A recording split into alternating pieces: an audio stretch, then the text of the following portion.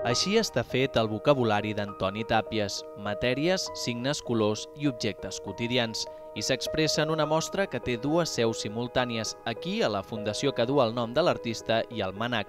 Són vora 140 obres conservades a casa de Tàpies, la majoria inèdites des del 1945 al 2011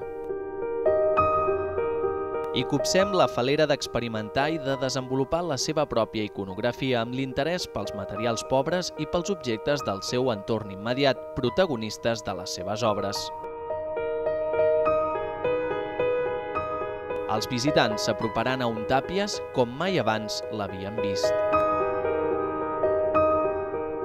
trenca els estereotips amb els que fins ara intentàvem pensar-lo, com un artista ubicat en un moment determinat de la història de l'art del segle XX, per ser un artista que durant 65 anys no va deixar d'experimentar amb la pintura, amb les formes, amb els símbols, amb les cal·ligrafies, amb els materials, i que és una evolució contínua que es desplaça d'aquelles etiquetes amb les quals sempre se li havia pogut mm, d'alguna manera encasellar. L'alcalde Trias i el conseller Mascarell no s'han volgut perdre la inauguració de l'obra d'un barceloní de gran renom.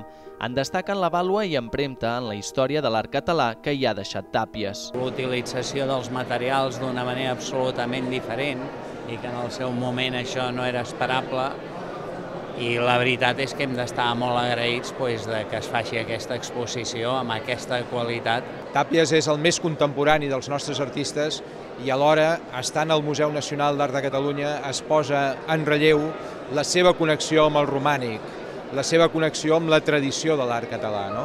Al Manac s'hi reserven les obres matèriques o murals.